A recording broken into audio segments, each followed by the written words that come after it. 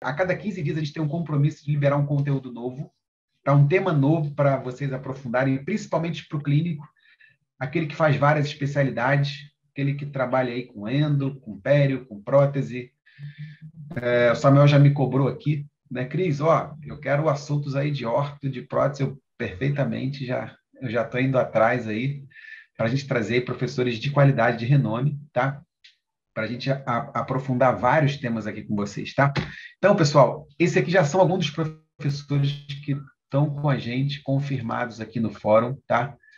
É, o professor Sequito, na área de facetas, na área de dentística, de estética, talvez muitos de vocês já conheçam. Né? O Samuel, eu não preciso falar nada, né? a gente já tem um módulo de endodontia com várias aulas ali na plataforma, mostrando muito da filosofia do Samuel. Muitos de vocês talvez conheçam aqui, eu tenho certeza que se alguém aqui faz prótese total, conhece o professor Osmar Castro. Né? Talvez muitos de vocês não conheçam a Lirane, né? vocês vão conhecer em breve aqui a Lirane. Eu já já vou falar um pouquinho mais dos professores, mas, pessoal, a questão principal, que é, é o que, que motivou né, eu, Samuel, isso a gente já vem pensando nisso já há algum tempo, né, Samuel? É, é, é o grande desafio que o clínico tem hoje para se manter atualizado, né? Se você parar para pensar, pessoal, é, nas formas convencionais que você tem hoje para se atualizar, né, de ter que ir a congressos, né, é, eventos que normalmente custam e custam caros, e, e, e, e, grandes eventos normalmente são fora do Estado, né? É, e aí fica a pergunta, né? Se às vezes, será que um ou dois congressos que você faça, será que eles são suficientes para te manter atualizado, para te manter né, nessa dinâmica de, de mudanças que a odontologia vem passando, que tudo vem passando, mas a odontologia em especial, né? tanto na endo quanto na prótese, em facetas, um cimento novo, uma resina nova.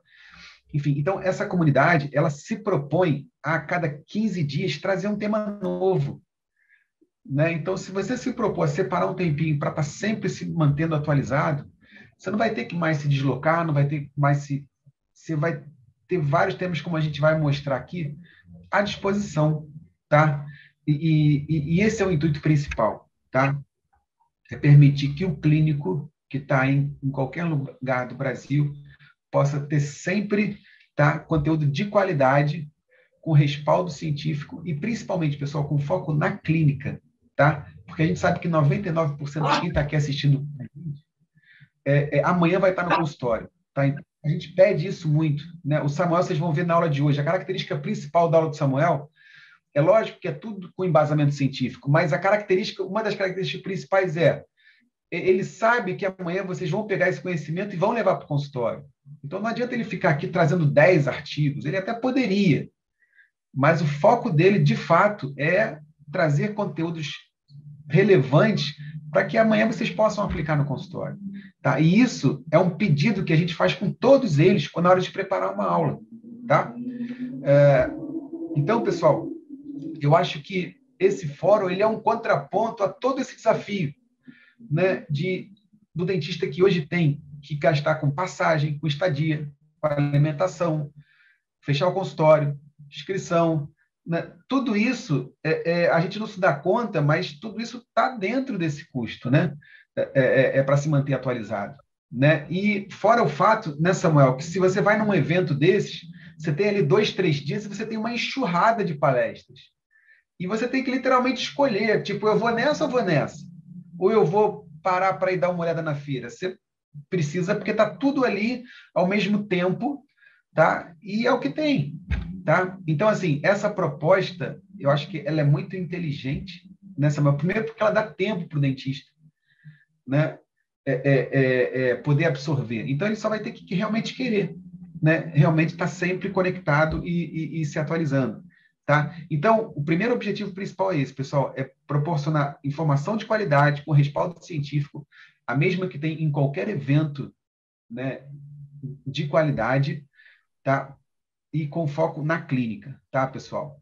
É, um outro grande objetivo, tá, pessoal, é aproximar todos esses professores que estão aí estudando, se aprofundando, do clínico, tá? Então, vocês vão ver que a gente vai criar uma, uma comunidade. Essa comunidade está tá se formando, Tá? E, e, e, na verdade, vocês vão ver que é, vocês vão estar a um acesso, a um clique. Né? No celular aqui, né? vocês vão, vão ter a, a um clique, de fato, de entrar em contato, de eventualmente compartilhar um caso, né? eventualmente tirar uma dúvida sobre o material, seja com outros colegas, seja com qualquer um desses prof, professores, eles vão estar lá nessa comunidade também, tá? É, é, dispostos a interagir, tá? É, é tudo com celular na palma da mão, com acesso muito simples, tá, pessoal? Por isso que eu acho que não tem volta esse tipo de, de, de, de é, é, essa forma de, de se manter atualizado, tá, pessoal? E aqui só para vocês terem uma ideia daquilo que já tem disponível hoje na plataforma, tá, pessoal? Né, a professora Cristina Miura, né, ela tem um canal incrível. Quem não conhece, sigam lá, Pério Diária, tá? O professor, é, o professor Rodrigo, né, também tem né, um canal muito legal de dentística, o Sequito e Facetas. Pessoal, em breve, né, o, o professor Osmar ele vai presentear o fórum, tá? E literalmente presentear, tá?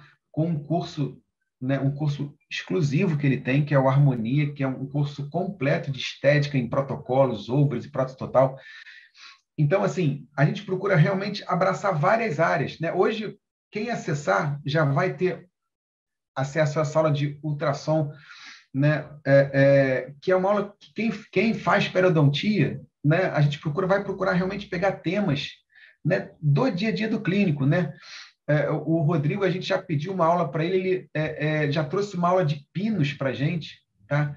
Quem faz clínica sabe que pino é o, é o arroz com feijão, tá? O professor Sequito, né, quem faz odontologia estética, ele já trouxe uma aula de protocolos clínicos de cimentação, né? Então, vocês vejam que é, é, é intencional, tá, pessoal? A gente trazer temas que sejam realmente voltados para a clínica, para que quem entrar nessa comunidade já possa acessar e já possa evoluir, tá, pessoal? Então, é, esse é, é um dos objetivos principais dessa comunidade.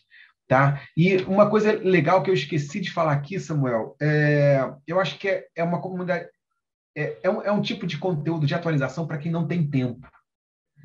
Por que, Samuel? Porque quem quer, assim, você, tá, você tem no celular ali, né? Cristiano, meu Deus, eu trabalho o dia todo e tal. Às vezes é um intervalo, às vezes faltou um cliente, você assiste uma aula, você, você vai lá ver as aulas que você quer assistir. Faltou um determinado cliente, surgiu uma meia hora, é o tempo suficiente para você assistir uma aula. Está tudo no celular, um clique, é muito fácil. Né? Então, realmente, é, é, mesmo quem não tem tempo, se realmente olhar com calma, tendo aula no celular, vai conseguir assistir, sabe? Não, é, é, é, é, muito simples o acesso, é muito franco o acesso. Tá, pessoal? Então, esses são alguns dos professores que vão estar ali. A gente tem dois professores já de marketing muito legais, né? talvez muitos de vocês conheçam, que é o Igor. Né? É, é, se não conhecem, vão assistir uma aula dele e eu sugiro que assistam, tá, pessoal, na plataforma. Ele tem um foco muito legal com pequenos consultórios, em, em, em ajudar dentistas né, a evoluírem ali em pequenos consultórios, tá? O, o Andrei, né, talvez muitos de vocês não conheçam, vocês vão é, é, aprender um pouquinho sobre odontologia de alto valor. Pessoal, o que é odontologia de alto valor aqui, só para vocês entenderem aqui?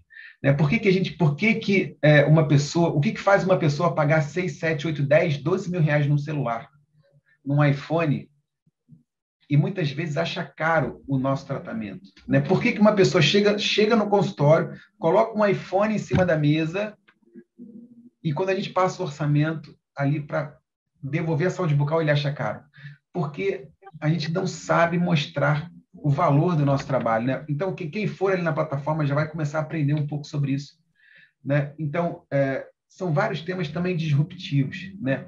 A auriculoterapia, vocês vão ter oportunidade, muitos de vocês talvez se interessem. A gente vai liberar semana que vem, pessoal, saindo do forno, uma aula sobre controle da dor com auriculoterapia, né? Que é um tema extremamente interessante, dado o fato de que você não tem é, eu não vou ficar aqui falando de cada aula, mas semana que vem já vai ter uma aula dessa liberada a mais, tá? Fora todo o conteúdo. Nós vamos ter uma aula semana, agora em setembro, sobre oclusão é, é, voltada para prótese total. Enfim, são muitos temas, tá?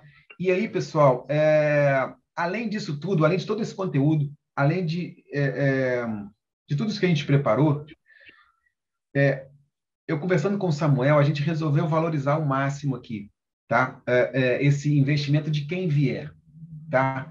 Então, pessoal, isso é, é uma coisa específica do Samuel agora, tá? Então, assim, toda essa comunidade, todo esse conteúdo, isso tudo, quem entrar já vai ter acesso, tá? Já, já vai ter acesso, tá? Todas essas aulas, no mês de setembro agora nós vamos ter várias aulas e não para mais. Um ano tá? Que você vai poder evoluir a cada mês se você quiser, tá? É...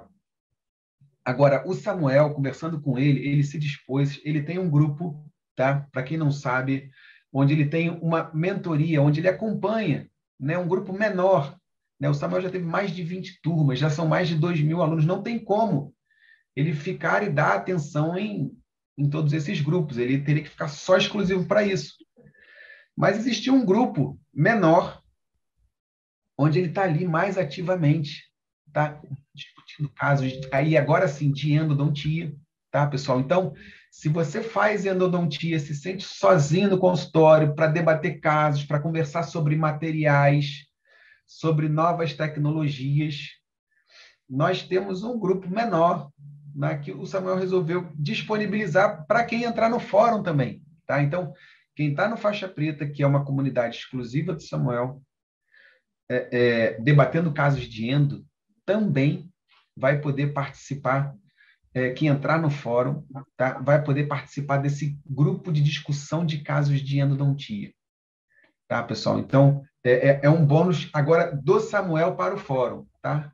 Que ele trouxe para quem eventualmente entrar, vai poder vir para esse grupo e, e passar ali um ano debatendo casos com Samuel, enfim.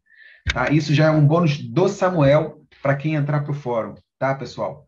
É, além disso, tá, pessoal, nós temos vários professores que estão dentro agora aqui do fórum, tá? E que tem mentorias. Por exemplo, o Samuel tem o Andoninja, que é um curso que a gente não precisa falar do resultado que dá para os alunos, para aqueles que se aplicam.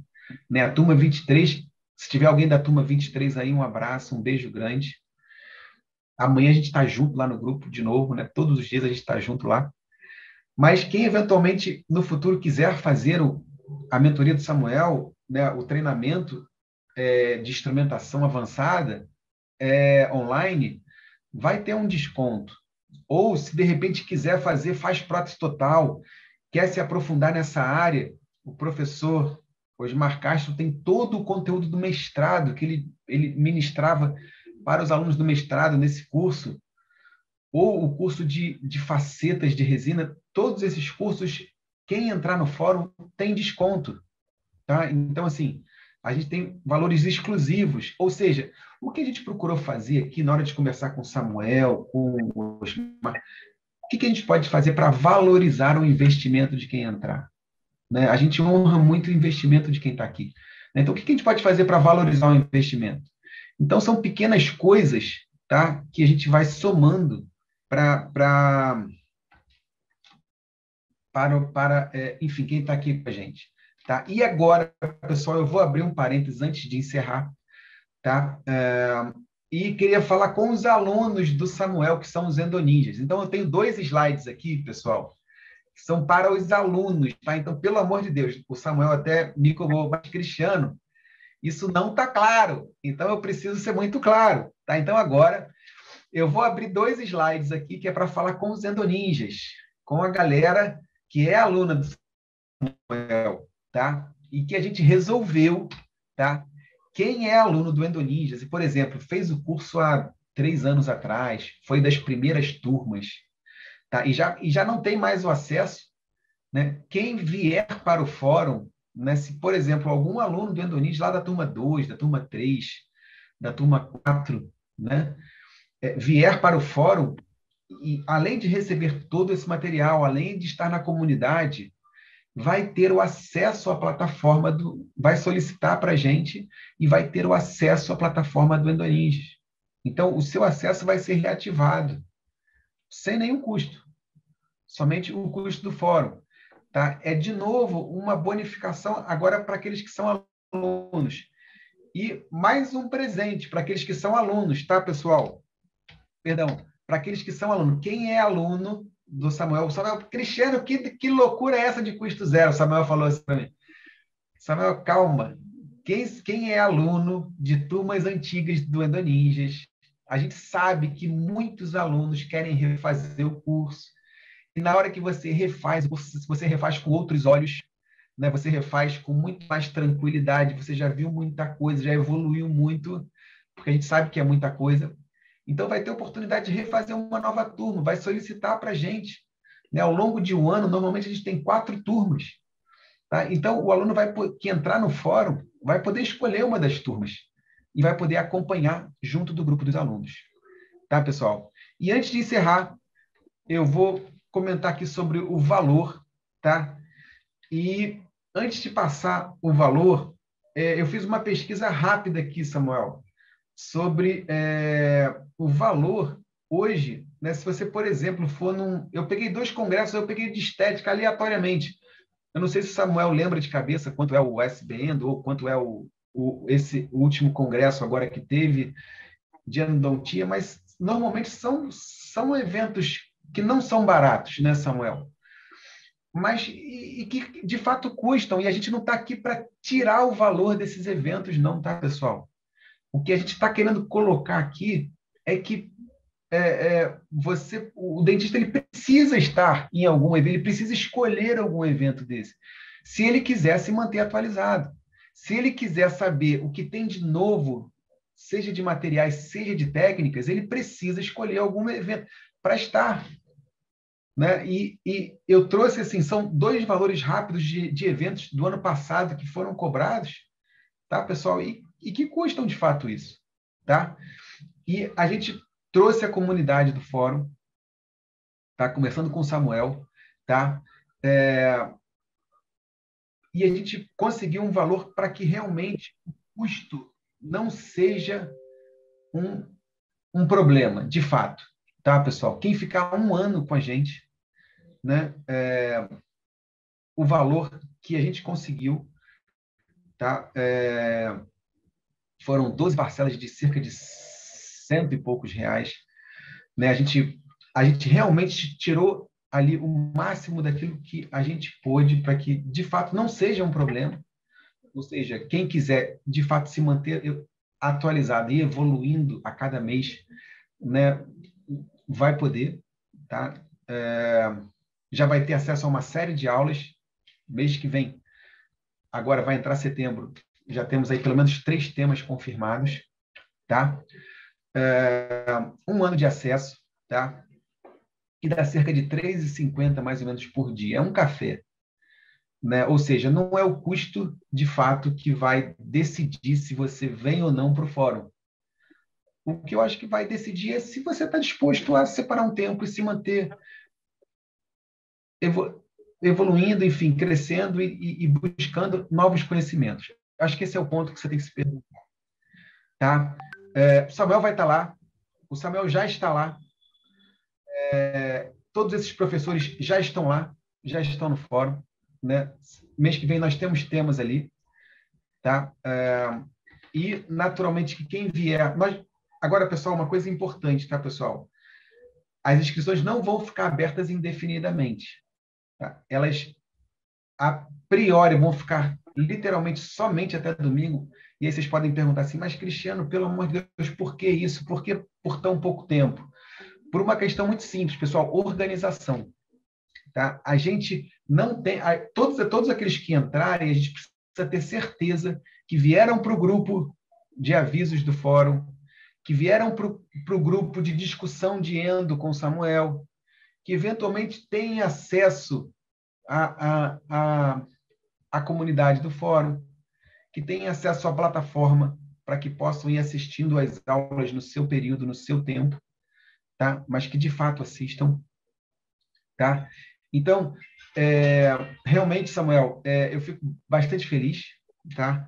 É, eu queria deixar claro isso, tá, pessoal? É, a gente não é não é birra, é porque realmente é organização, tá? A gente precisa fazer isso, Agora, por exemplo, vocês vão ter uma aula sobre que, que, que tem a intenção de atualizar vocês sobre os protocolos mais atuais de retratamento, materiais, técnicas, né, com hands-on voltado para a clínica. Tá? E é uma, é uma aula clássica daquilo que vocês vão ver muito lá no fórum, em, em, em várias áreas da odontologia.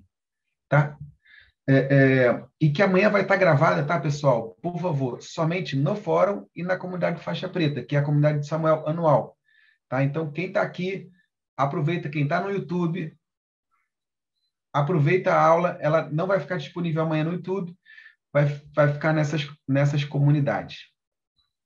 É, quem eventualmente vier com a gente, amanhã nós vamos disponibilizar esse link a partir das 8 horas, tá, Samuel? Nós vamos disponibilizar. Quem está nos grupos de WhatsApp vai receber. Quem está no e-mail vai receber. Fiquem tranquilos. No Instagram do Samuel vai ter o link do fórum para conhecer também toda a comunidade, todo o material que está disponível. Você vai poder ver lá todas as aulas que estão disponíveis. Tá? Os próximos temas nós vamos liberar em breve para vocês. Tá? Os próximos temas que vão haver. Tá? E o que a gente pode falar para vocês assim, como última palavra, pessoal? é, a gente está trazendo um pouco da credibilidade, assim, Samuel, do Osmar, do Sequito, todas essas pessoas que vocês viram ali, elas estão endossando, tá? Elas não estariam num, num local como esse se realmente não acreditassem que, que é, é, é, se não estivessem avalizando de fato esse conteúdo tá, pessoal? Então, é um compromisso nosso realmente procurar trazer conteúdos como o de hoje que o Samuel vai apresentar para vocês. Samuel, missão cumprida. Eu queria te dar a palavra oito e meia. Não sei se tem alguém aí no, no YouTube. Pessoal, mais uma vez, Samuel, obrigado por participar junto contigo desse projeto e com outros professores aí, doutores, mestres que são realmente referência em várias áreas da odontologia, tá, pessoal? Então, a gente realmente acredita que essa comunidade veio para ficar. E ela vai ficar, ela vai permanecer, porque a gente tem convicção que ela vai ajudar muitos colegas a se manterem atualizados, aplicando, fazendo a melhor odontologia que podem, tá? usando os melhores materiais. Né? A gente realmente vai procurar aproximar né? Essa, essas duas pontas aí. Samuel, obrigado. Não sei se você quer falar alguma coisa. É... É, pessoal, é só lembrar que a maioria, eu fiz até uma pequena pesquisa, né, é, entre os colegas que acompanham a página Sama Nogueira, 40% faz endodontia pura e 60% faz endodontia e clínica odontológica. Então, o Fórum Brasileiro de Endodontia caminha muito também para esses colegas dos 60% para aquele colega que eventualmente está fazendo outras áreas dentro da endodontia. E mesmo aqueles que fazem só endodontia, tem a parte do Rodrigo, né? tem a parte do Sequito, tem a parte de adesão identística, pessoal, que cada vez mais a endodontia se aproxima dela, tá? Só para lembrar para vocês. E, como eu já disse o Cristiano no começo dessa live, eu me sinto muito feliz porque esse é um projeto nosso, né? A gente discutiu alguns outros projetos, né? Mas eu acho que esse projeto é um projeto grande, é um projeto que vai ajudar todo mundo a caminhar melhor dentro da sua clínica, porque eventualmente alguém faz uma resina, alguém está mexendo na ortodontia, alguém está cimentando uma prótese, alguém está preparando um núcleo, né? alguém está ali mexendo numa periodontia, então, ninguém faz muito difícil pegar um colega que viva exclusivamente, vou falar da Indo, né? E cada vez mais a parte clínica vem é, chegando perto do nosso dia a dia clínico. Cristiano, é isso aí, cara. Vamos nessa. Vamos nessa. Só mandar um abraço aqui, Samuel, quando você bebe um copo d'água aí, né, para Efigênia, São Endoninhas aí. Lídia, um beijo, Lídia. Que prazer te ver aqui. Os Maraci também, né? A gente vai lembrando do pessoal, né, Samuel? Vai dando saudade aqui, matei saudade do Ramiro aqui, que estava aqui com a gente. A Cleide perguntou aqui se o pagamento vai poder ser por cartão ou boleto. Sim, Cleide, na plataforma vai ter as duas opções, tá? É, tanto por boleto quanto por cartão. Vocês vão ver que não muda muito, tá? É, a opção uma ou outra, tá? A gente fez questão de que não, não haja, assim, grandes mudanças, não. Vocês vão poder realmente escolher de forma muito confortável, tá? É, obrigado, Lídia. Um beijo grande. Aproveitem aí a aula do Samuel, tá? E é, a gente espera ver muitos de vocês aí no, no fórum agora, né? Junto com o Samuel lá matando saudade com a gente no, no grupo no grupo de discussão lá do Faixa Preta e é, naturalmente nas discussões do fórum também. Vai ser um prazer ter vocês lá. Valeu. Cristiano, um abraço, meu amigo. Vamos nessa. Galera do Faixa Preta, vamos aqui comigo. Pessoal que está no YouTube, aproveitem a aula. Né? E, pessoal, só lembrando que essa aula não ficará gravada no YouTube. Né? Essa aula é do Indoninhos Faixa Preta e do Fórum Brasileiro de Odontologia agora. Né? Cristiano, acho que a minha aula é a aula inaugural do Fórum ou teve outra? Teve a do Sequito, não? A gente teve uma aula de Sequito, Sequito mas a gente, né? tem, a gente, tem, vários conteúdos na plataforma, viu, Samuel? É. A, gente, a, gente, tem, tem a tua aula que está entrando agora, tem um módulo teu lá já. Tá? Show. E a ideia é que não pare mesmo, tá, Samuel? Setembro agora já tem agenda para setembro. Como você pediu, a gente já está providenciando a agenda de implante e prótese para outubro. Tá? E ó, então, vamos nessa, galera. Vamos nessa. Boa aula, Samuel. Boa aula, pessoal. Obrigado Valeu. aí, Samuel, pelo tempo. Bem, galera, vamos aqui para a reintervenção endodôntica, retratamento endodôntico. É, a, o retratamento, ele passa por alguns problemas, pessoal, que são inerentes né, à nossa prática clínica. E por quê? Né? Porque muitas vezes a gente não sabe nem quando indicar esse retratamento. Então, a gente vai dar uma pincelada um pouquinho sobre isso, né, para a gente estar tá conversando aqui com vocês. Geralmente, o tratamento endodôntico convencional, ele chega ao índice de sucesso entre 85% e 95% de sucesso, enquanto o retratamento, ele fica em torno, aí, variando entre 70% e 80%. Então, o retratamento, pessoal, quando vocês forem conversar com um paciente de vocês, vocês já têm que dizer o seguinte, que o índice de sucesso no retratamento endodôntico é menor do que no tratamento endodôntico convencional. Então, isso é de suma importância para o diálogo com o paciente e para né, o futuro do caso. O que é que vai ser desse caso? E aí, né, a gente poder tentar trazer um tratamento de qualidade para esse paciente. E algumas coisas que a gente tem que discutir é o seguinte: precisa realmente retratar? O dente está insatisfatório? Como é que eu vou ver isso? Como é que eu vou discutir isso? Como é que eu vou avaliar isso? Né? Então, isso tem que ser muito bem pensado na hora da clínica, tá? Bem, presença de fístula, né? presença de abscesso, presenças né, de sinais clínicos que demonstrem que esse paciente precise de um retratamento. Então, isso, pessoal, é de suma importância para que a gente tenha né, em mente como é que a gente vai conduzir esse caso. Um dos grandes problemas dentro da endodontia é, saber como vai conduzir esse caso. Então, isso é a primeira parte do retratamento, tá? Por exemplo, um caso como esse, tem um canal que teoricamente parece estar bem feito, né? Principalmente se você pegar na década de 80 e 90, onde se instrumentava entre 1 e menos, menos 1 e menos 2 do fórum apical, porém, a gente tem uma lesão parapical. Mas um exame radiográfico somente, a gente não tem dado quando foi feito, né? há quanto tempo está feito esse canal, se tem alguma outra sintomatologia, se tem presença de fístula, se tem presença de abscesso, se dói, se não dói, se dói a percussão, não tem nada. Então, os sinais clínicos né, são extremamente importantes para a gente dar condução ao nosso retratamento. Lembrar que a gente não pode avaliar um retratamento apenas por uma única imagem. Isso tem que ficar muito claro, pessoal.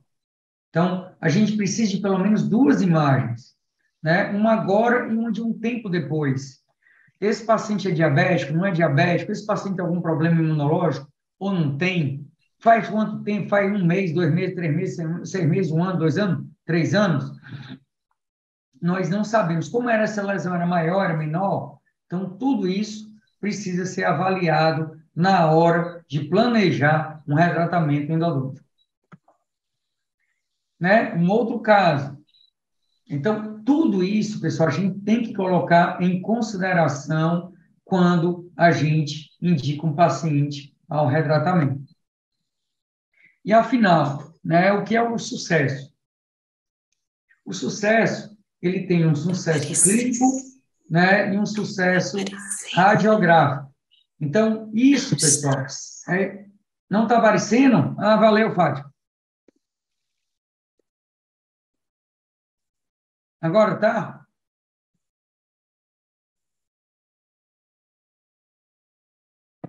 Tá? Então, o sucesso tem um clínico e o radiográfico. E, na verdade, esse sucesso tem que ser avaliado pelos dois. Né? Então, existem né, tratamentos que têm uma reintervenção que a gente tem cura completa, que apresenta radiograficamente assim e clinicamente não tem nada. Então, isso é um sucesso. Porém, existe um outro caso, que a gente intervém e fica na radiografia algo como não totalmente resolvido, porém, clinicamente é um sucesso. Né? E aí existe uma discussão do uso da tomografia computadorizada de feixe cônico no, na avaliação do sucesso do tratamento endodôntico. Logicamente que o ideal, né, o ideal seria a gente ter uma tomografia de preservação para ver se realmente a gente tem um sucesso efetivo do caso. Agora, você fez um canal, né, tem uma lesão parapical há mais de quatro anos, teoricamente, essa cura é incerta, tá? E se você fez a reintervenção, mantendo sinais e sintomas, e a lesão radiográfica permanece, você tem aí um insucesso do caso. E lembrar que a cirurgia paraendodôntica continua sendo aí, né, uma última, uma última fase né, do, da reintervenção na endodontia. A cirurgia paraendodôntica também é uma etapa do, do retratamento endodôntico, ou uma etapa da endodontia. E aqui, né, será que está bom? Será que ficou aquém? O que é que o paciente está sentindo? Né? Então, pessoal, isso daí a gente precisa avaliar bem mas a gente precisa ter tempo de espera. Quando foi feito esse canal? Se eu pegar essa radiografia agora, eita, eu vou ter que retratar, né? Retrato. Se eu pego essa radiografia aqui nesse exato momento, eu vou pensar em retratar de novo, porque eu não sabia que ele foi, acabou de ser feito. Né? Eu preciso da história clínica desse caso. Eu preciso entender o que está acontecendo naquele caso. E aqui, né, a mesma coisa. Se eu pego o tratamento aqui, nessa fase, se o paciente vem e não me explica, não sabe me orientar, eu vou querer reintervir aqui. Mas esse tratamento pode ter sido feito há seis meses atrás, há cinco meses atrás, há um ano atrás. Então, isso eu preciso ter muito bem consolidado dentro né, do meu planejamento clínico. Um dos grandes problemas do retratamento é exatamente o planejamento clínico daquele caso. Né? Por exemplo, aqui, com presença de cones de prata.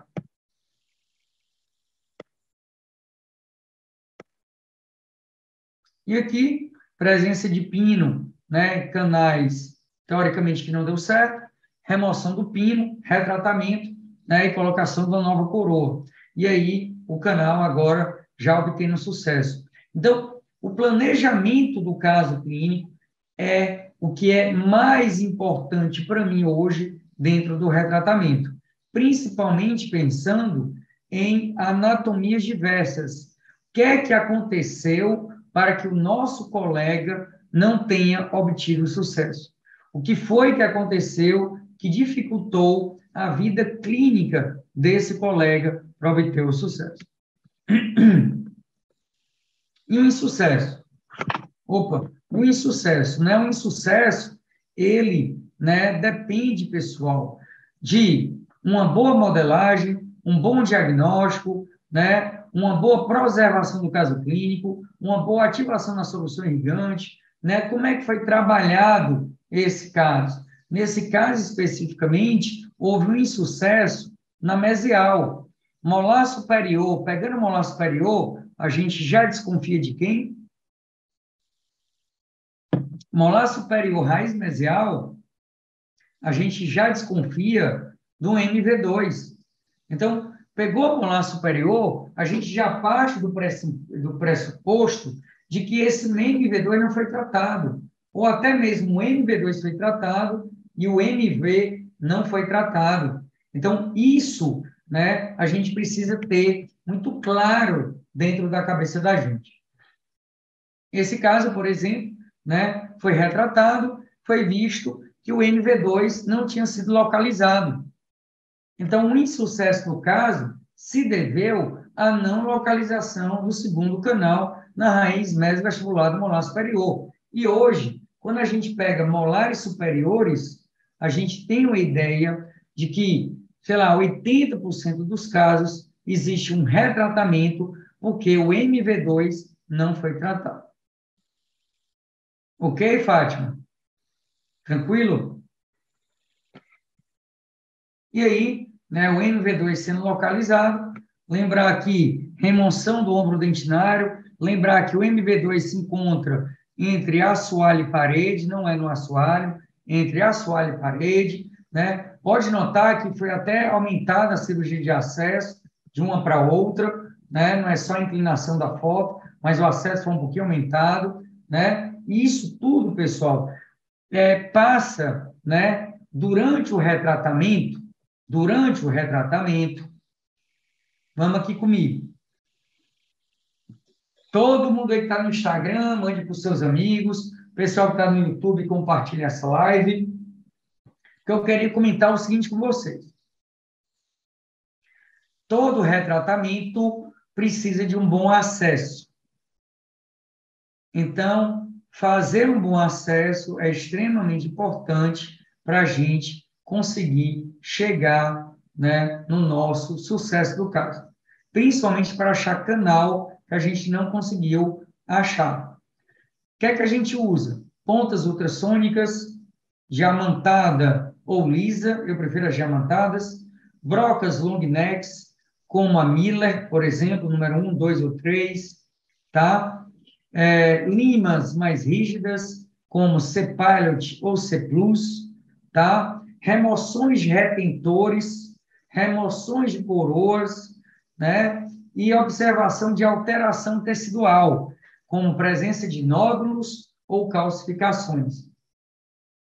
E na presença de nódulos ou calcificações, né, o possível uso de um corante, né, de um colírio que é corante, a fluoroceceína sódica, que serve aí para localizar tecido orgânico, né? Então isso é uma coisa que facilita a localização de tecido orgânico. E aqui, né, a gente nota que temos um canal e esse daqui, teoricamente esse em sucesso, e esse insucesso, né? A gente pega e esse canal pode estar tá trazendo a isso, né? Nessa região tem bactérias ainda, tá? A gente nota também que a nossa endodontia pode ser trazida aí por uma presão, presença de uma lesão periapical, né? E que às vezes esse puff apical não significa insucesso, né? E que a não limpeza do forame apical pode sim causar um insucesso. Então, toda vez que você tiver uma lesão periapical, instrumente na região apical, instrumente no zero, porque nessa região aqui existe bactérias. Nessa região pode existir a presença de bactérias. Né? E às vezes pode ser a presença de um cisto verdadeiro, que muitas vezes o canal a gente não consegue tratar o cisto, porque acaba acontecendo tendo um canal, ou o cisto não está em ligação com o tratamento endodôntico, né? não está em, em, ligação com a endodontia, tá? É, restaurações mal adaptadas, restaurações mal feitas, tudo isso tem que ser avaliado para a gente estar tá tratando ou não esse dente. Presença também de biofilme periapical pode estar tá trazendo também o insucesso do caso, porém, radiograficamente, o caso parece estar bem tratado. Né? E né, a presença de amálgamas de prata pode ser vinculada a insucesso pela presença de trinca, pela presença de fratura, né? E cavidades abertas são cavidades né, eleitas para ter infiltração de micro-organismos. E a gente tem aí, quando é que a gente tem uma previsibilidade? Como é que a gente tem a previsibilidade desse caso? Né? E isso, pessoal, vocês têm que conversar muito bem com o paciente de vocês. Né? Uma reintervenção sem lesão, a literatura nos diz que ela pode ter um sucesso entre 92% e 98% de sucesso. Então, poxa, eu vou retratar um dente que não tem lesão, eu tenho uma margem de sucesso em torno de 90 e poucos por cento. Agora, se eu vou tratar um dente ou retratar um dente com presença de lesão periapical, o meu índice de sucesso cai. Esse índice de sucesso cai para 74 a 86% de sucesso. Então, isso precisa ser dialogado com o meu paciente. E quando a gente tem alterações anatômicas, né, reabsorções externas, internas, né, e etc., a gente pode ter um índice de sucesso de 47%. Logicamente que, né, não descartando uma alternativa final, como, por exemplo, a cirurgia parendodôntica.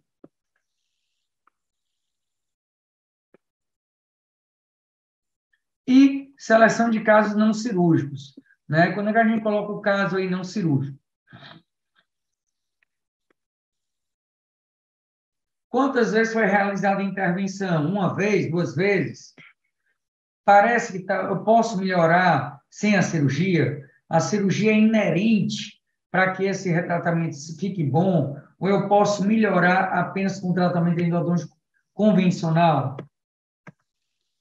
Né? Os sinais e sintomas, como é que estão? Como é que está aí né, a preservação do caso? Como é que eu consigo resolver esse caso?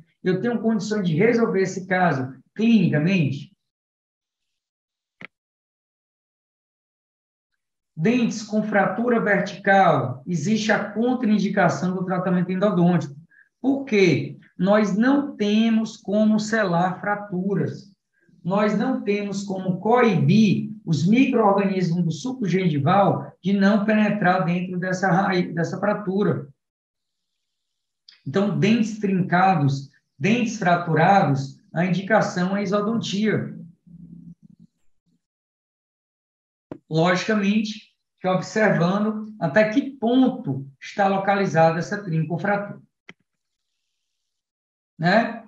E aqui, como é essa imagem? Eu consigo ver essa imagem? O que é que ela me diz? Uma simples imagem radiográfica me diz muita coisa sobre um retratamento? E aqui, pessoal, por eu não ser um advogado muito grande da tomografia computadorizada, mas dentro da prática clínica do retratamento endodôntico, eu recomendo veementemente né, que a gente peça as tomografias para até nos dar um embasamento prévio do caso com relação a acidentes e complicações futuras. Geralmente, vamos aqui, vou parar até de compartilhar aqui rapidamente, geralmente geralmente, um retratamento pode vir acompanhado de um acidente de complicação. Se o retratamento é acompanhado de um acidente de complicação, a gente tem que nos resguardar de uma possível complicação para a gente. Como? A gente pega aquele dente e vê que o dente está perfurado e a gente não avisou o paciente antes. Se você não avisar antes, o paciente vai achar que quem perfurou o seu dente, o dente dele, foi você. Então, aconselho todos os meus amigos que forem fazer retratamentos, fazer uma radiografia imediata do caso e pedir uma tomografia do caso. Nem sempre, Samuel, eu vou conseguir fazer isso. Nem sempre eu vou conseguir pedir essa tomografia. Porém, porém, é importantíssimo esse diálogo com o paciente. Tá? E é importantíssimo a radiografia prévia a mexer no caso, mesmo que o paciente tenha vindo com radiografia com ele. Deu para entender, Fátima? Deu para entender, Cristiane? Ramiro? Tá? É extremamente importante isso.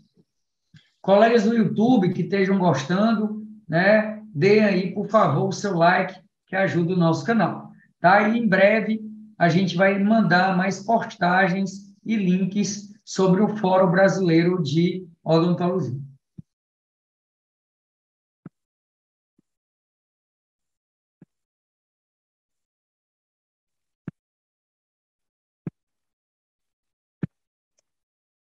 Então, muitas vezes você tem um caso como esse, foi tratado, né, preservado, e na preservação, na preservação, você nota, né, o, o aumento da lesão periapical.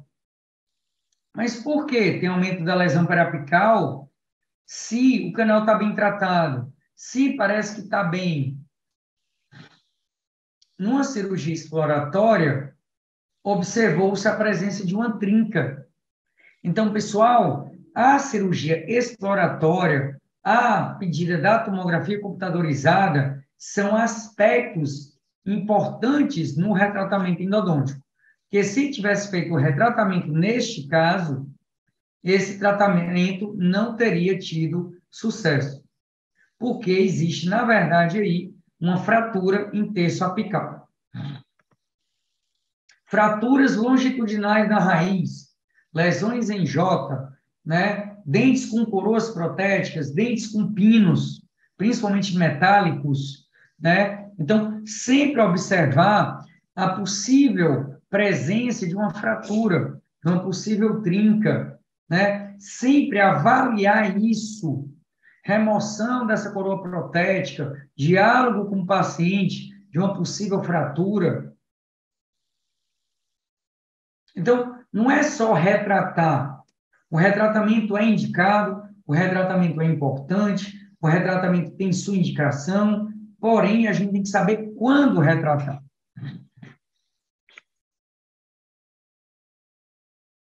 Dente com fratura mesodistal pegando furca.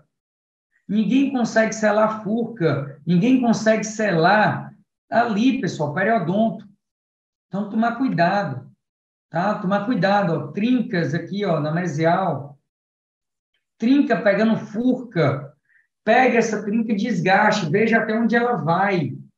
Corre o risco, se você não fizer isso, de deixar essa trinca lá. E o dente abrir depois. Né? De novo aqui a trinca, ó grande destruição, né? Se outro problema com o retratamento, outra coisa que eu vejo muito é se o paciente tem condições de reabilitar proteticamente aquele dente. O paciente vai ter condições de colocar uma coroa, o paciente vai ter condições de restaurar o dente, ele vai ter condições econômicas financeiras de manter aquele elemento dental na boca. Então, isso precisa ser discutido com o paciente aquele canal possa ser feito, pode ser retratado. A periodontia consegue ser retratada? tem problema periodontal envolvido? Por isso que o Fórum Brasileiro de Endodontia é importante. Nós precisamos ver o paciente holisticamente. A gente não precisa ver só a endodontia, não precisa ver só a periodontia, a prótese, mas precisa ver o paciente como um todo. Então, isso precisa ser avaliado. Acessibilidade ao tratamento, a acessibilidade ao que ele precisa. E aqui, lesão em J, parece uma fratura trinca, né?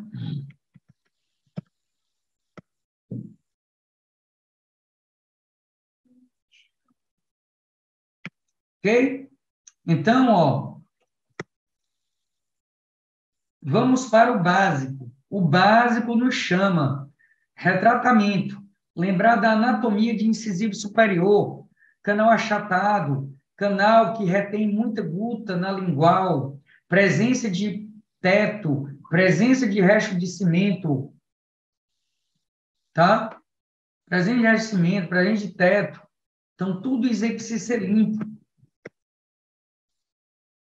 Pode ser com uso de ultrassom, pode ser com uso de gates, né? Pode ser com uso de o que você quiser de largo, e contanto que você consiga remover esse material obturador. Presença de outros canais, principalmente premolares inferiores, caninos inferiores, incisivos inferiores com dois condutos. A gente tende a achar apenas no canal vestibular. Muitas vezes o canal lingual é esquecido, né? Então, lembrar por que, que ele é esquecido? Por causa da presença desse ombro dentinário, por causa dessa projeção de dentina nessa região.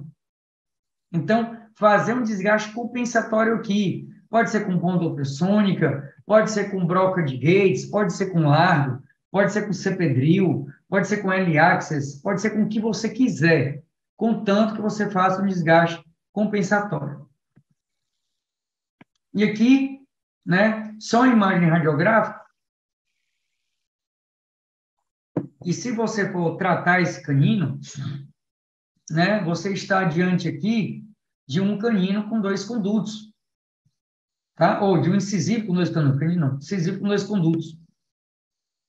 E aí, na presença desses dois condutos, se você tivesse esquecido um, você fatalmente estaria condenando, nesse caso, um insucesso. Ou, no ato de retratar, está retratando e esquecendo de tratar esse segundo conduto. Premolar, superior ou inferior, mas aqui os superiores. Lembrar a presença maciça de dois condutos no primeiro e de 50% no segundo. Grande causa de retratamento de premolares superiores é o não encontrar ou não tratamento do segundo canal no segundo pré-superior e de uma possível presença de um terceiro conduto no pré-superior também. E aqui, outra questão de retratamento né, em premolares inferiores, ou até mesmo em premolares superiores com um conduto, é que o premolar tem um canal muito, muito achatado no sentido mesodistal. E ele tem um grande volume no sentido vestíbulo lingual, ou vestíbulo palatino. Então, tudo isso daqui precisa ser limpo. E como é que a gente limpa isso? É só desobstruindo? Com gates, com ultrassom, com lima reciprocante, com lima rotatória? Não. Precisa ser, também ser agitado. Eu posso usar o contrângulo oscilatório para estar tá complementando essa instrumentação. E aqui, pessoal, o acesso, o acesso bem realizado, ó, um acesso muito pequeno, um acesso muito diminuto, é bom para quem tem microscopia, para quem tem tomografia, mas para quem não tem, tem que se fazer o desgaste compensatório, tem que ter remoção de ombro, pode ser com ultrassom, com gates, tem que ter todo esse preparo, porque é o jeito, né? Porque é o jeito. Aqui, presença, né? Mudanças de radiopacidade dentro da raiz, o canal some, presença de dois condutos, ou três condutos, ou dois, ou um,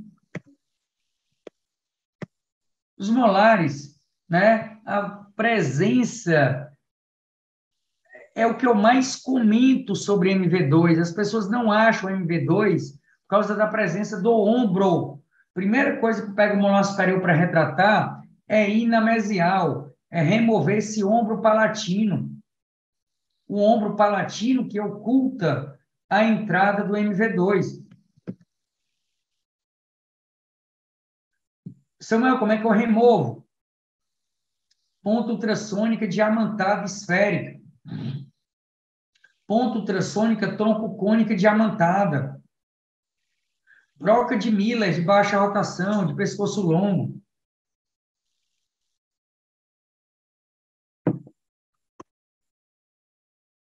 E aí, MV2. MSV2. Canais em forma de C, canais com dois condutos, canais com três condutos. Então, o molar inferior é essa imensidão de anatomias. Por isso que faz necessário, muitas vezes, a tomografia computadorizada prévia ao retratamento. Se é está sendo retratado, o colega que tratou a primeira vez teve dificuldade. Se o colega que teve dificuldade, você também pode ter. Não vamos né, renegar a capacidade técnica do colega. Retratamentos são desafiadores. Presença de mesomedial vamos procurar o canal mesomedial dos molares inferiores. Né? Ele está presente, ele pode estar por aí. Então, viu um retratamento do molar inferior, procura dentro do istmo. Abre esse istmo com o quê? Ponta tronco cônica diamantada. Ou então, broca de Miller, número 1. Um ou então 2200 no adaptador de baixo. Mas vamos procurar. Coroa. Coroas protéticas. Está mexendo em cerâmica, usa diamante. Chegou no metal, usa multilaminada. Parte ela ao meio, pode usar ultrassom no meio dela Acesso. Acesso não conservador. O acesso dos retratamentos tem que ser um acesso que eu consiga ver as embocaduras do canal. Não é para detonar o dente, mas para ver muito bem aquele canal.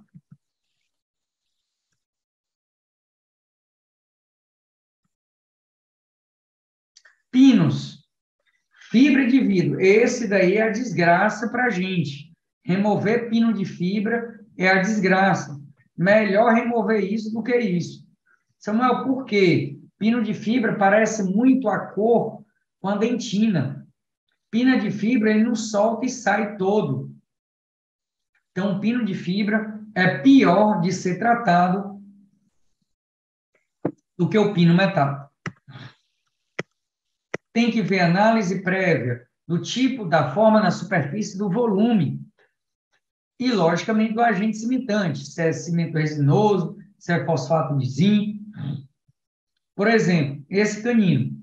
Eu vou retratar esse canino, eu tenho que tomar muito cuidado para, no ato de remover esse pino, não quebrar esse dente. Eu sugeriria aqui não uma retratamento endodôntico, eu sugeriria aqui uma cirurgia para endodôntica. O risco de remoção desse pino é muito grande e o paciente perder esse dente. Aqui não, aqui já é diferente.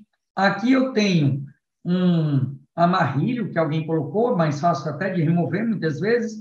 Aqui um pino até no terço, terço cervical, que também é de fácil remoção. Então, aqui já não. Aqui o planejamento já seria outro. Né? Aqui até tracionando é capaz dele sair.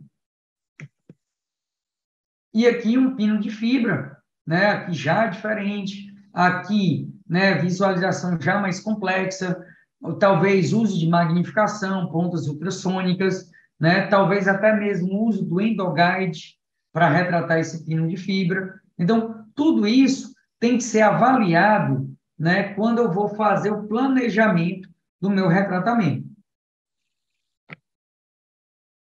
E aqui as brocas, pontas ultrassônicas, né? Aqui brocas de alta, mas pode ser a Miller de baixa, brocas para metal, brocas para diamante, né? Pontas ultrassônicas de remoção de pino, remoção de núcleo, remoção de pino de fibra.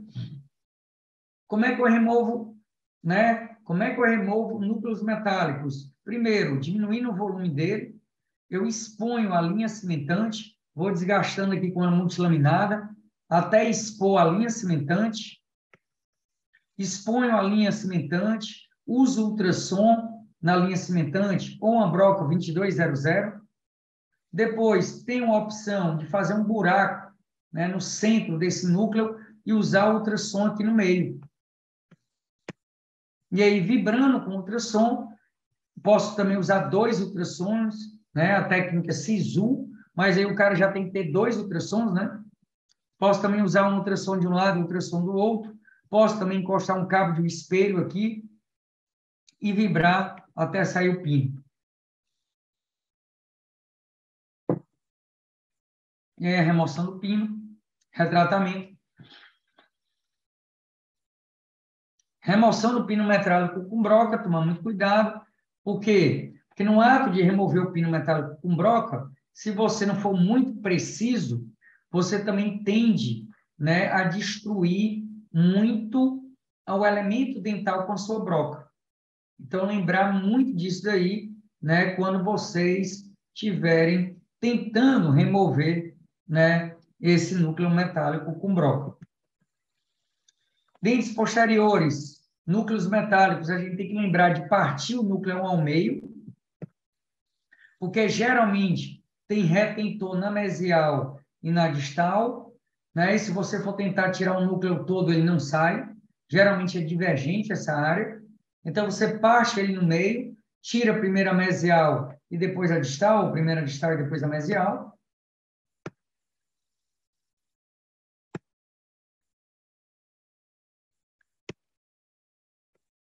E aqui, como dava o pino, pino removido, né, retratado. Pino removido e retratado. Pré-fabricado, faz tempo que eu não pego, né? Ainda bem, um negocinho chato, mas o ideal é você remover toda a resina ao redor desse, desse pino. Vai desgastando, pode ser com ultrassom, tá? Eu não gosto de usar essas, né, tipo uma chavezinha de fenda. Eu prefiro fazer um movimento anti-horário com a ponta ultrassônica e vibrar para ele sair. Retratado aí. Pino de fibra. Bem, pino de fibra. Esse daqui a gente para um pouquinho e vai bater um papo. O pino de fibra é uma grande coqueluche do momento, né? É o que mais os colegas têm usado. O grande problema do pino de fibra é que na sua remoção a gente não consegue muitas vezes distinguir o que é pino e o que é dentina. Então, pessoal, aconselho veementemente ao uso de magnificação, pode ser com lupa, pode ser com microscopia, mas alguma magnificação que eu consiga ver onde é pino e onde é dentina. Samuel, eu posso usar broca no pino? Pode. Você vendo aonde está o pino e colocando a broca em cima do pino, pode usar a broca sim, tá? O problema é que tem colegas, a gente falar isso na internet, aí vai ter colega que vai dizer, pô, ele mandou usar a broca. Não, mas a que você tem que ver aonde está colocando. O problema é que muita gente não consegue ver. E aí acaba desviando o canal, perfurando o canal, rasgando o canal. Então, lembrar disso aí. A melhor coisa para remover pino de fibra é microscopia e ultrassom, ou magnificação e ultrassom. Logicamente que a gente também pode usar hoje, para os pinos de fibra, o uso do endoguide. Endoguide, né, se o Oberdan estiver por aí, o endoguide também pode ser usado para remoção dos pinos de fibra de vidro e até mais facilmente do que o uso de microscopia e ultrassom. Bem, passando da remoção do núcleo, do pino, do retentor, do que seja, a gente geralmente vai encontrar a guta pecha. E a guta pode ser removida de outras maneiras também. A gota pode ser removida com um termo injetor ou com um termo compactador, né? pode ser esse, pode ser qualquer outro.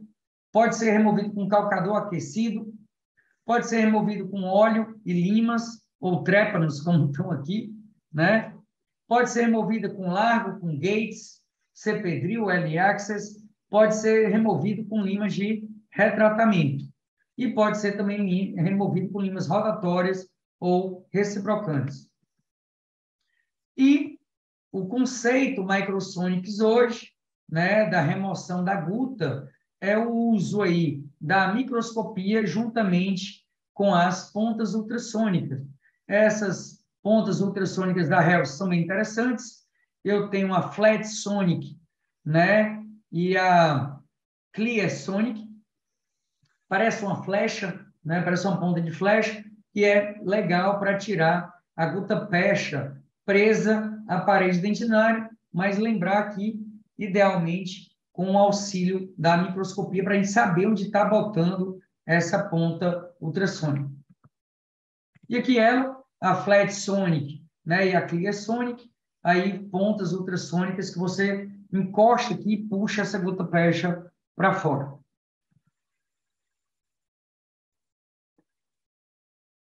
Aí a Clear Sonic, você remove, vai derretendo essa gota e puxando ela para cima, né? E vai removendo ela aí de dentro do canal. Tá? Solventes. Solventes é um assunto controverso. Muita gente tem condenado solvente né, na endodontia moderna, mas muito colega não tem ultrassom, muito colega não está vendo onde está usando o inserto, muito colega não consegue derreter essa guta, e os solventes têm sim né, seus lugares ainda dentro da endodontia. Para quem não sabe, né, para quem não sabe, o cimento H+, né, na sua bula, na sua bula, o cimento H+, o recomendado em seu retratamento é o uso do clorofórmio. Clorofórmio seria o indicado a dissolver o cimento resinoso H+, né? Então, para você ver como é difícil a remoção de um cimento endodôntico como o H+, se não for com o uso de um agente solvente. Também temos o xilol, temos o óleo de laranja e o eucaliptol. Em termos de força e potência, clorofórmio, xilol, óleo de laranja e eucaliptol.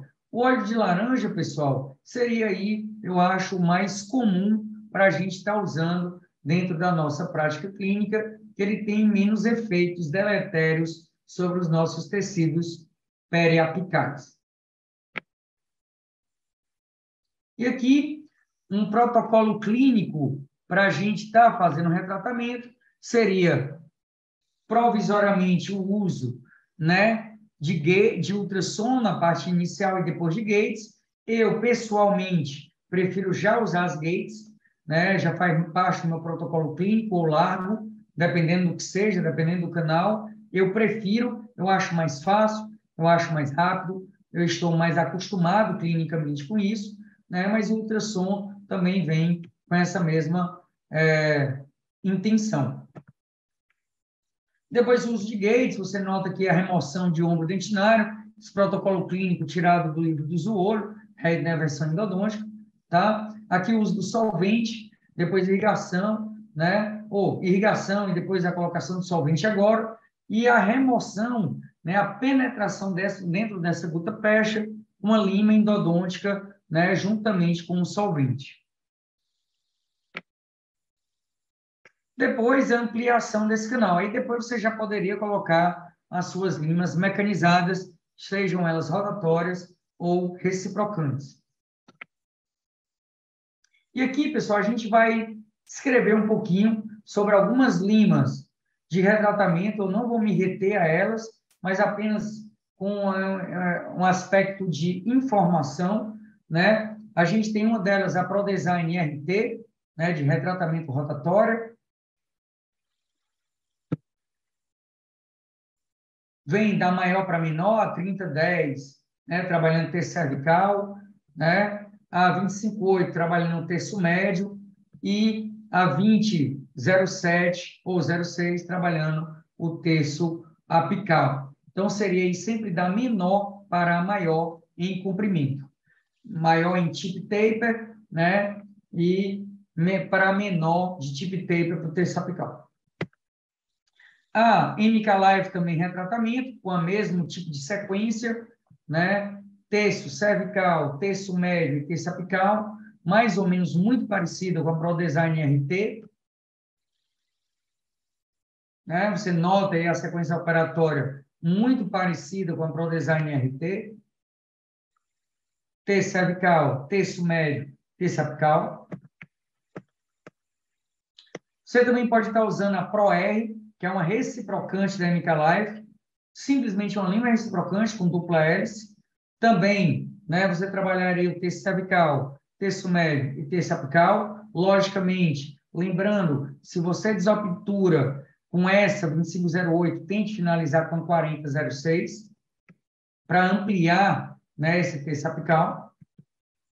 E aqui a ProDesign RT. E aqui eu usando a sequência clínica da Rogin, também que pode ser usada, né, a Reciprocal One File da Rogin, reciprocante da Rogin, também pode ser utilizada para isso.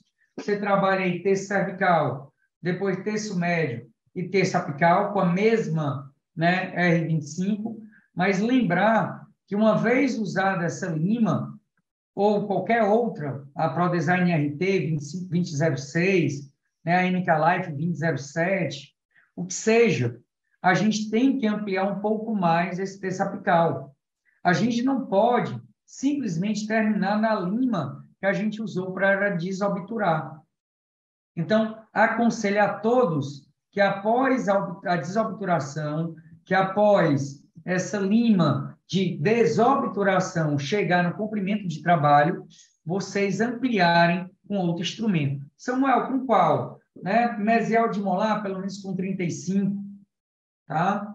Pelo menos com 35, 3504 é uma boa opção, tá? Roguin tem a Superflex Fire 3504, tá? Mas não terminar nessa lima simples, né? Na 2508. Não terminar numa 2508, como a ProR Pro MK Live, ou uma 2006, como aqui da ProDesign RT. Então, lembrar disso, são pequenos detalhes, pessoal, que a gente pode estar usando. Temos também a opção de estar usando a Expand Shaper. Né? A Expand Shaper pode ser usada também em retratamentos. Né? Esse caso aí do Klaus.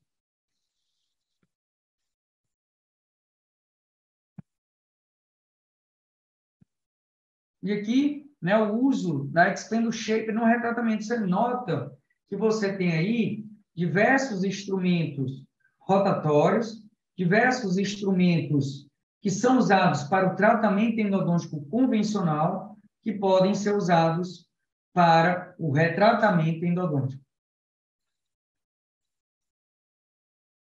Aqui é uma sequência operatória da Reis, uma lima de abertura de orifício, ou como qualquer que vocês mostraram, uma lima que vai remover essa gota do terço cervical. E aí você prepara esse terço cervical, remove essa gota peste inicial com essa lima, né, de preparo cervical, ou pode ser com a reciprocante.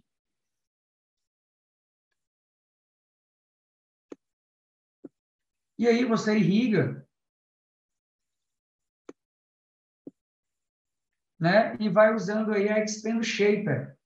Nesse caso aí, ele usou a Expand Shaper para usando é, solvente, né? Foi usado solvente aí. Então, você usa ela para o retratamento. Teoricamente, a Expand Shaper tenderia a remover mais guta, que ela tende a se expandir dentro desse canal, né? Então, é uma opção também de retratamento, a Expand Shaper.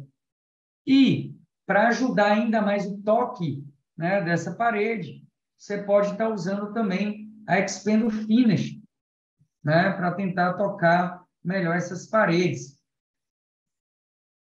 é a shape ainda sendo usada. Aqui a finish.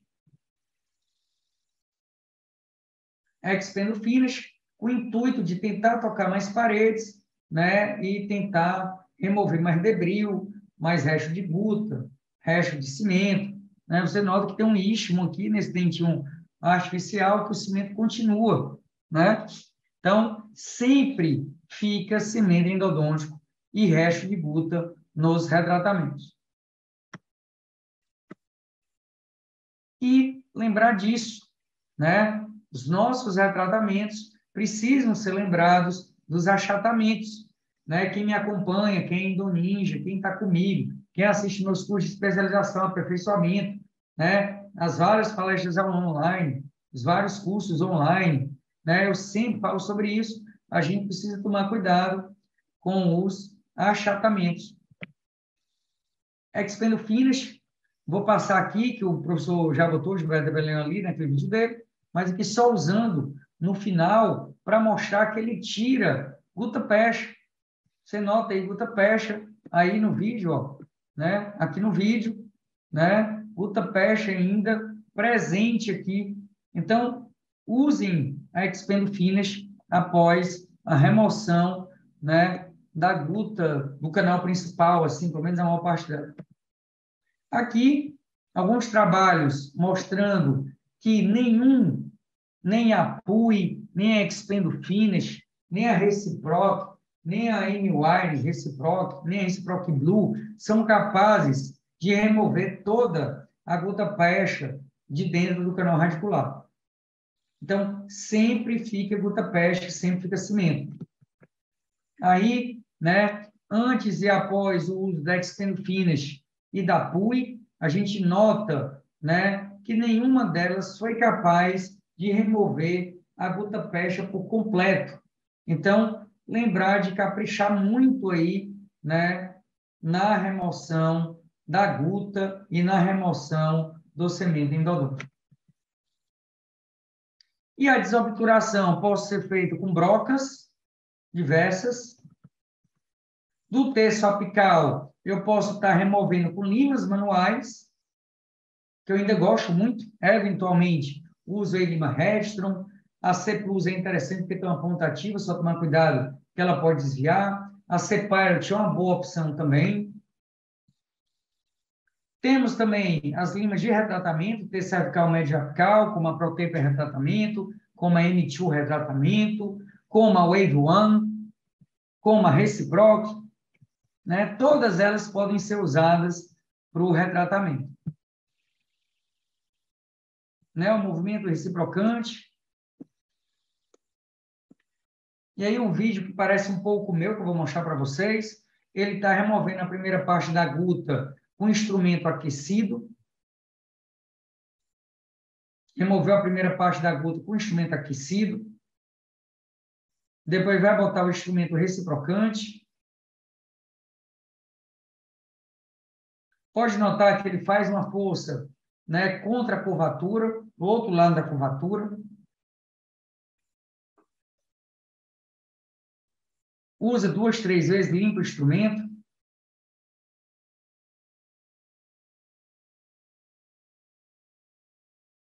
O guta pecha vem vindo o instrumento reciprocante ele tende a puxar essa gota para fora.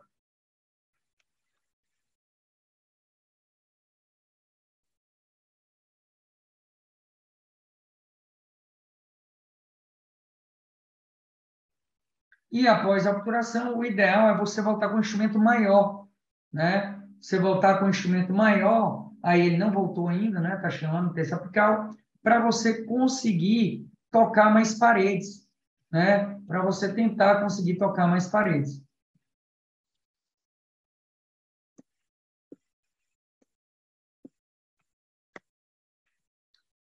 As pontas diamantadas, né, esféricas, troncocônicas, forma de bala, serve para dar uma limpeza geral naquela cavidade inicialmente.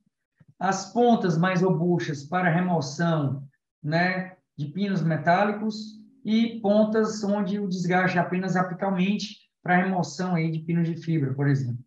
Temos outros insertos. E aqui a sequência operatória, determinar o comprimento de trabalho, limas manuais, brocas ou limas mecanizadas, né? Remoção aí de pinos, retentores, limpeza de cavidade, remoção de cárie, né? Aqui foi optado nessa sequência de casos só com lima manual, foi usado gates, né? E limas manuais e o canal retratado puramente apenas com lima manual. Mas também pode ser uma sequência com lima mecanizada, aqui no ato usando a ProTaper, por exemplo.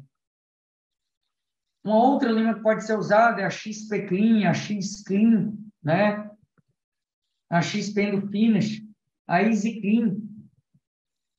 A ponta ultrassônica é um, o ponto de ativação de solução gigante, como a gente mostrou naqueles trabalhos, a ativação da solução irrigante é importante para tentar limpar melhor essa área.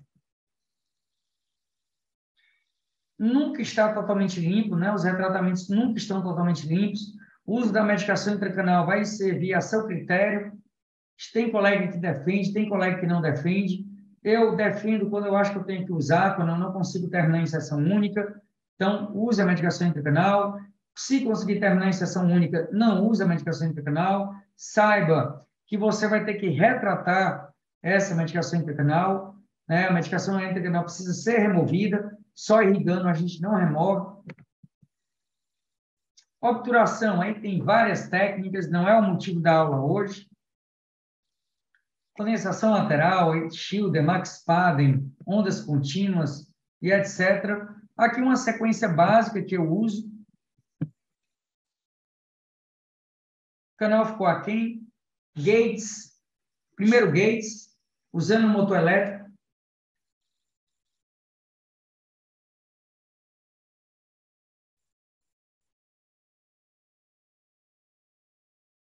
Lima reciprocante.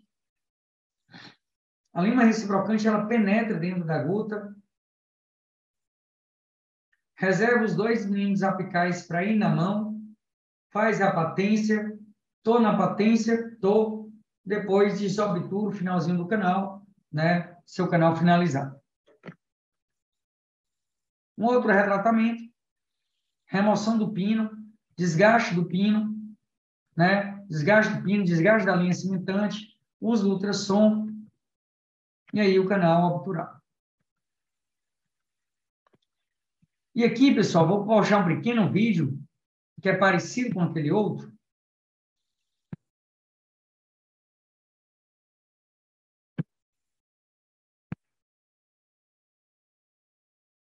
hoje a falar sobre retratamento e eu, né, uma das brocas que eu mais gosto de retratar seria a broca de Gates ou a broca de largo, tá? Qualquer uma das duas, é, logicamente que para um canal mais é, menos amplo, optaria aí pela broca de largo ou de Gates, ao invés de ser a broca de largo, tá bom?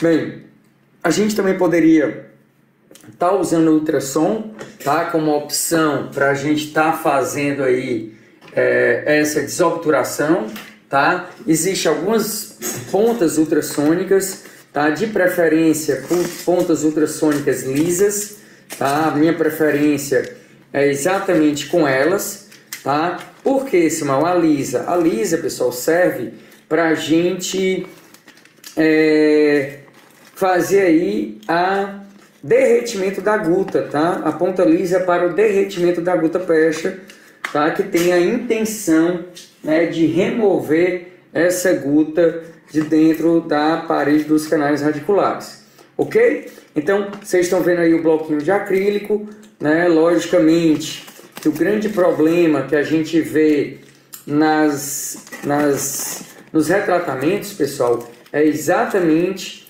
o problema né, de acidentes e complicações conjuntamente né, com o retratamento, tá certo? Então, geralmente o retratamento não segue o caminho apenas né, do, do tratamento normal, né? A gente segue apenas o caminho do tratamento como se não fosse é, um canal normal e geralmente não é, tá? Não optem, pessoal, né, por pontas diamantada, tá? Optem por pontas lisas, tá certo? Pontas lisas são sempre a melhor opção para os retratamentos, tá? Tem uma ponta da Helsi, a Blade, né, que é a Flat Sonic, quer dizer, tá? Que tem uma opção bem legal aí para você tá fazendo o seu retratamento. Ela tem uma forma de flecha, né, que é excelente aí para esse tipo de caso, tá certo? E a função dela é exatamente tá removendo, né, tá derretendo essa gota peixe. Agora, pessoalmente, pessoal, não sou muito fã, né, de pontas é, de ultrassom, tá? Eu prefiro muito, acho muito mais fácil a gente tá fazendo aí a remoção da nossa gota com brocas tipo Gates ou tipo largo, como eu vou usar aqui é, hoje aqui com vocês, tá certo? Os motores endodônticos hoje têm as funções Gates, tá? vou até botar aqui uma para vocês verem. É, e aqui eu vou escolher, ó, tá? Nesse motor aqui, vocês podem ver, tá? Fica piscando aqui, né? O motor, mas aqui, ó, Walter Gates, né? Qual a função? Gates Glinder. Né? Então eu tenho aqui a função Gates, tá? Gates, tá? E aí eu tenho qual Gates eu quero. Qual Gates eu quero, né? Ó, Gates 1, 2.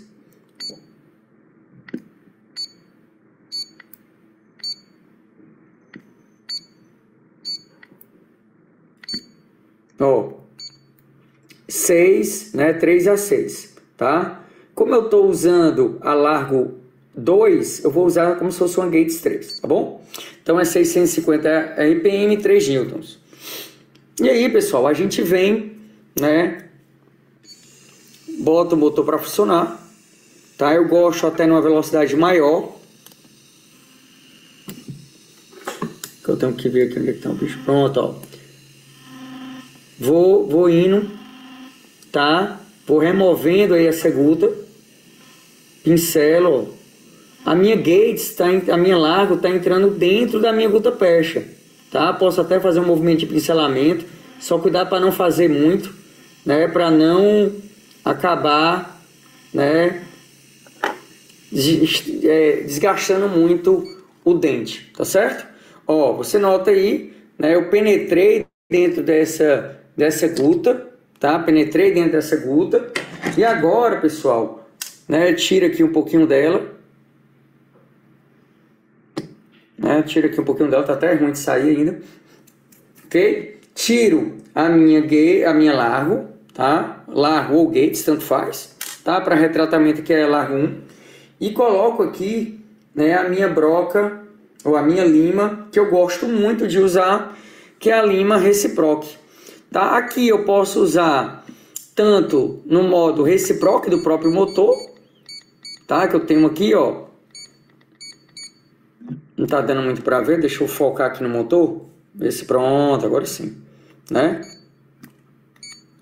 Ó, você vai ver aqui, ó. Ó, reciproque, modo reciproque. Vou dar de novo o foco aqui nele. Tá? Modo reciproque, opto por ele, tá? Tá né? Ele bota 170, volta 50. Essa esse ângulo, na verdade, é o ângulo né, da Wave One e não da Reciproc, tá? Eu posso corrigir também. 30, 50, pronto, tá? Agora tenho e vou fazer né, a minha instrumentação. Movimento, som característico, ó, né, o som característico, e vou colocar aí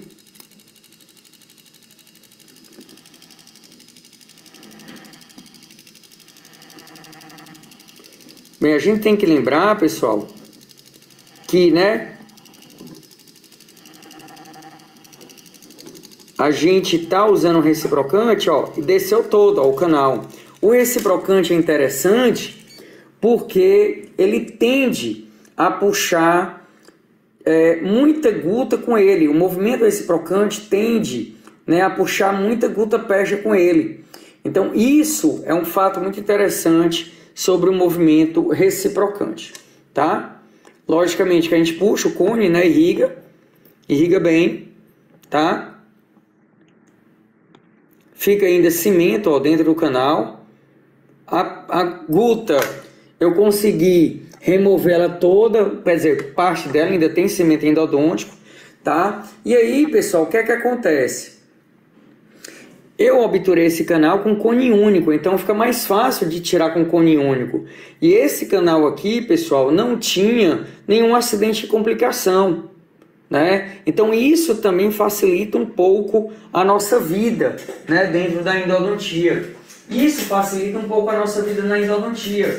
Então, pessoal, a gente tem que lembrar que nem sempre, né, nem sempre as nossas instrumentações, né, os nossos canais vão estar tá, né, dessa maneira, vão estar tá sem acidente, o cimento né, vai estar tá fácil de sair, tá? E mesmo assim, né, você nota que o canal não está branquinho, né? Mesmo assim, você nota que ainda tem guta por aqui nas paredes né, e cimento.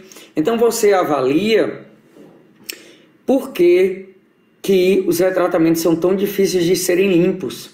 Né? Exatamente por causa desse remanescente né, de, de tecido ou de guta que tem aí. Você nota que ainda tem né, resto de guta presta na parede desse canal. Então a gente precisa tentar tirar isso.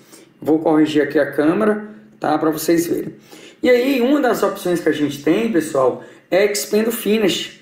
Né? Essa lima da FKG, bem legal aí, ó.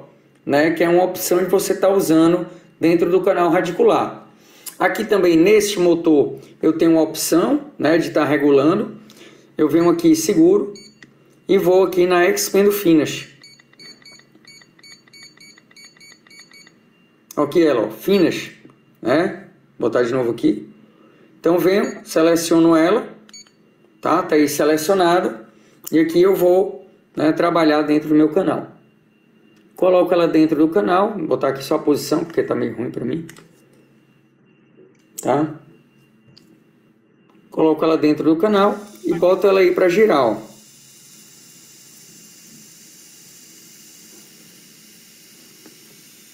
É, ó, ela sai ali pelo ápice, ela é segura, ó. Você nota ó, que ela sai ali pelo ápice, aí não quebra. A Expand Finish é uma, é uma lima muito segura, tá? Ela consegue expandir mais.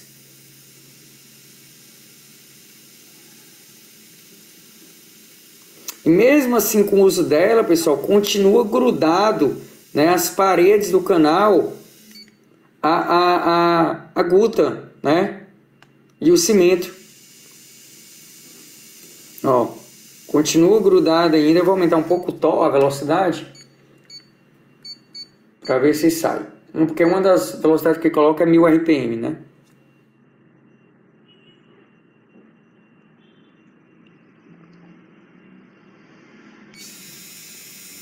Aí, ó, girando, né?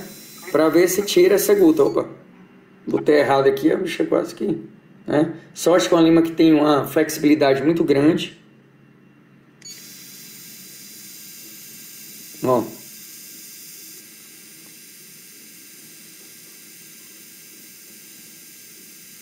Né? Então você vai né, usando ela. Tá? E Samuel poderia botar um solvente? Poderia sim. Tá? Um solvente ajuda. Ah, vai formar uma lama? Vai. Vamos ver se conseguiu tirar alguma coisa. Vamos ver pela cor do líquido que sai aqui, tá?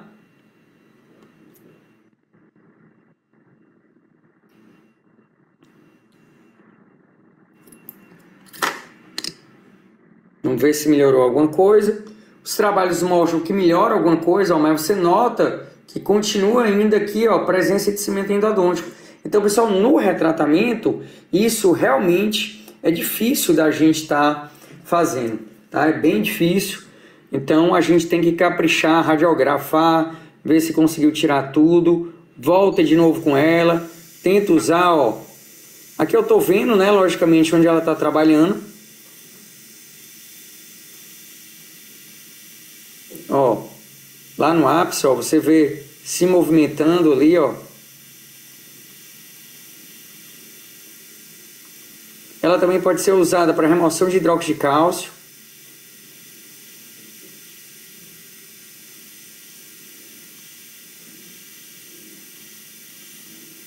Eu vou, pincelo ela, uso. Ela tem uma flexibilidade muito grande. É uma linha que dificilmente quebra, só se você inventar de ficar passando muito pelo ápice. Ela é bem segura. Tá? Vamos irrigar mais um pouco para ver se ela limpa aí alguma coisa.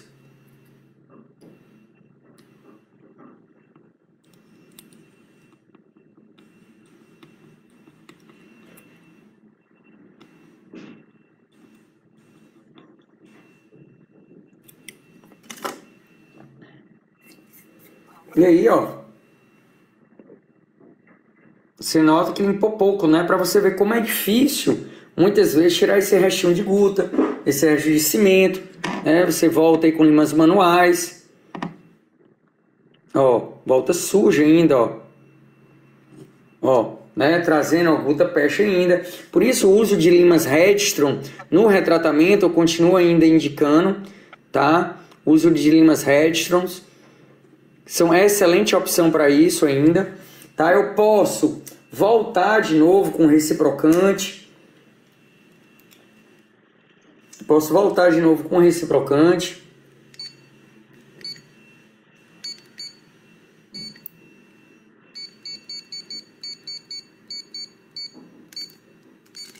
Posso voltar de novo com reciprocante para ver se limpa um pouco mais.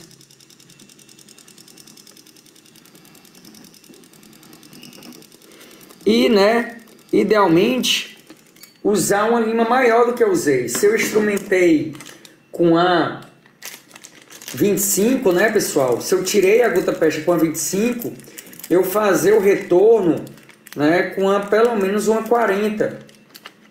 Uma 4006, por exemplo. Tá? Uma 4006, como eu vou usar aqui, ó. Então, se eu fiz com a 25, usar pelo menos com a 40, ó.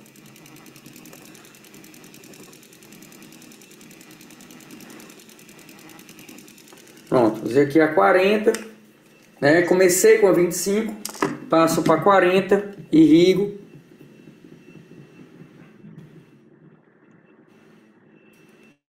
Irrigo bem.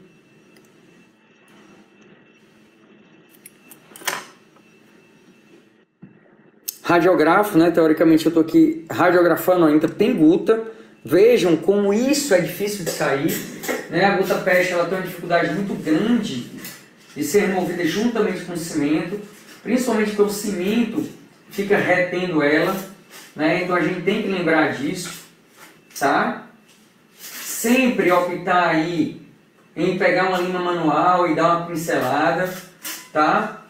De preferência as Redstrons eu estou sem nenhuma reaction por aqui. Deixa eu ver se eu achar o que é alguma.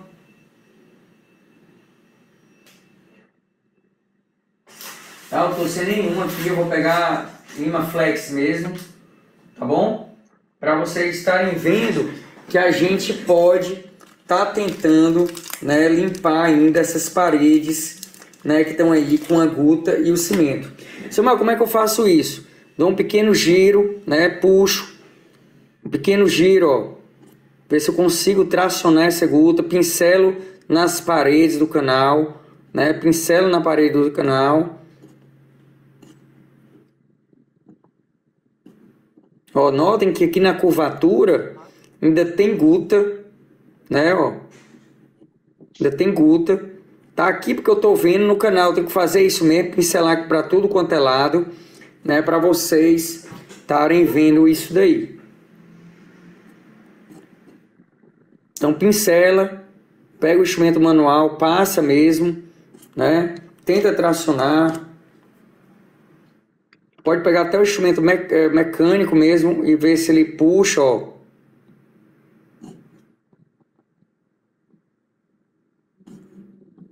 Ó, notem que ali não sai. Aí você radiografa, ainda tem, volta com expendo finish. Mas saber, pessoal, que nenhuma técnica nenhuma técnica ainda hoje consegue, né, consegue remover toda a gota peste, tá? Nenhuma técnica consegue remover toda a gota pés. E nem o cimento.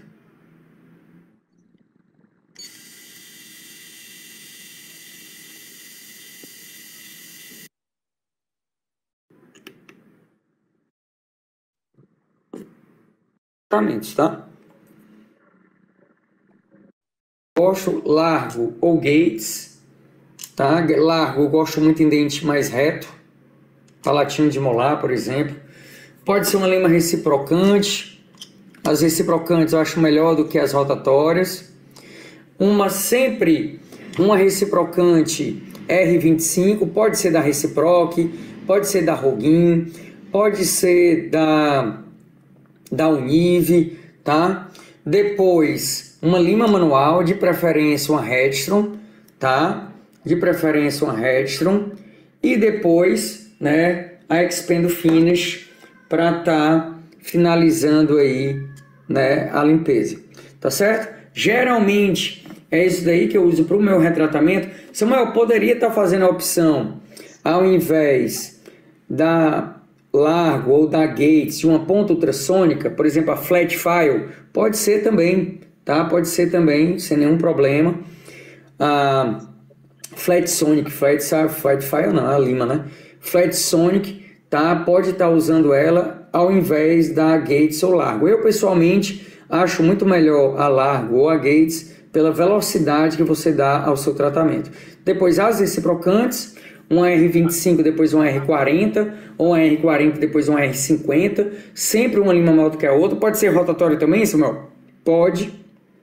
De preferência, limas um pouco mais rígidas, tá? Do que sem ser blue ou gold. A Rogin tem a Recipe One File para retratamento, é a sem tratamento térmico reciprocante. Tá? A Unive já não tem, a Reciproc tem, a Reciproc tradicional, a excelente lima. Depois uma lima manual, prefiro as Redstrom do que a Flex ou K, tá? Essa daqui é uma K. E depois a Expendo Finish para vocês estarem fazendo agitação na sua solução irrigante. Beleza, pessoal? Era mais ou menos isso aí que eu queria falar com vocês, né? E até a próxima.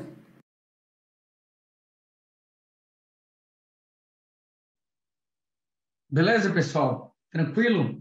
É, era mais ou menos isso. É, alguma dúvida aí, Ramiro?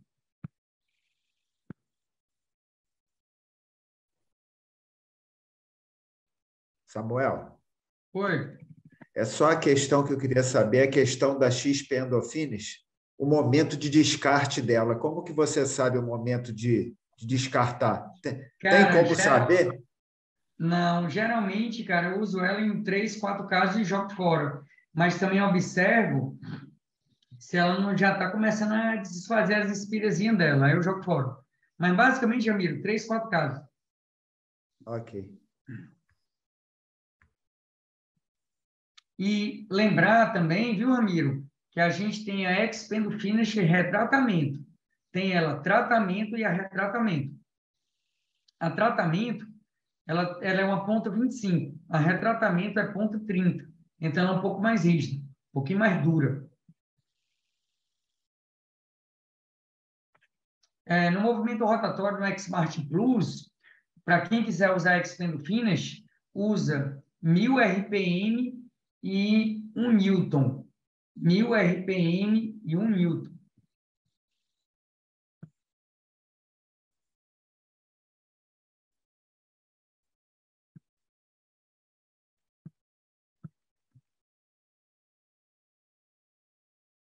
Beleza? Pessoal, seguinte, o pior do retratamento é que uma coisa é colocar um tubinho plástico aí. O problema do retratamento é que ele geralmente vem acompanhado de lima fraturada, vem acompanhado de degrau, vem acompanhado de desvio, vem acompanhado de perfuração, vem acompanhado de calcificação. Então, lembrar que o retratamento é acompanhado de acidentes e complicações. Deu para entender? Fátima, Sandra e Paula, o retratamento geralmente vem acompanhado do acidente e complicação. E isso é o que vai dificultar a nossa vida nos retratamentos. Beleza? Então, tomar muito cuidado muito cuidado no planejamento do caso clínico, do retratamento, quando tiver um acidente e complicação. Beleza?